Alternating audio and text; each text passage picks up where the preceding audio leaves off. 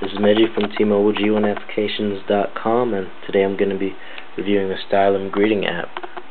Pretty much it's an application that allows you to send greeting cards from your phone via email, SMS, or even like through MySpace. So let's say I want to send this I miss you greeting card, this one right here.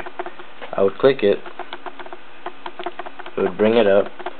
You can even type your own custom message in there you can choose to set it as your wallpaper, which would be this one, or send a message. I'm going to choose send a message. It brings up your list. You can't type any names, but you can just click them. So, click one right here. You can choose whether SMS or email, or you can actually use both. So I'm going to use both. And it just sent automatic, and then it sends automatically. That's simply what it is. Um, besides that, it has it has various categories of um,